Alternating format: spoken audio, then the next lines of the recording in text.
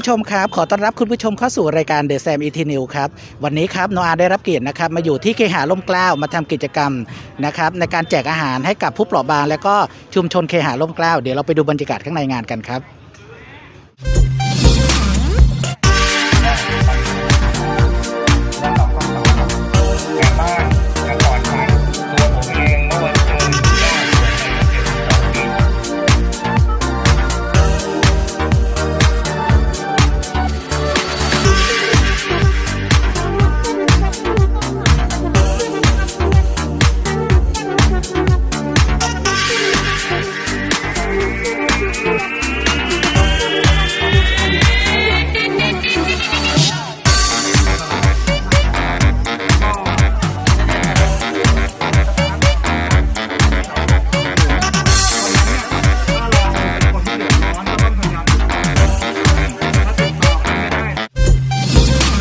รับเกียรตินะครับ จากน้องมิส LGBT เมืองไทยนะฮะมาร่วมเฟรมสัมภาษณ์ในรายการของเราด้วยนะสวัสดีค่ะทุกคน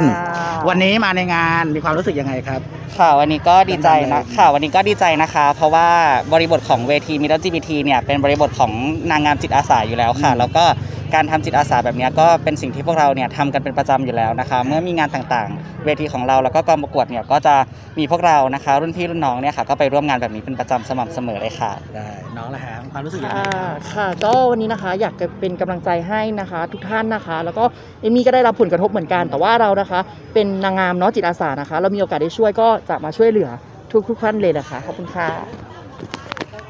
ค่ะและส่วนจอยนะคะก็ดีใจนะคะที่ผู้ละผู้ใหญ่ที่ได้ได้ละให้ความเอ็นดูกับเวทีของเราอะค่ะได้เรียกเรียกได้เรียกพวกเรามาช่วยงานในวันนี้ค่ะยังไงต้องขอบคุณแล้วก็พวกเราตัวแทน Miss LGBT นะคะ ก็อยากจะเป็นกำลังใจให้กับชาวชุมชนเคหะนะคะ แล้วก็คนไทยทั่วประเทศนะคะ ที่ได้รับผลกระทบค่ะ ขอบคุณค่ะ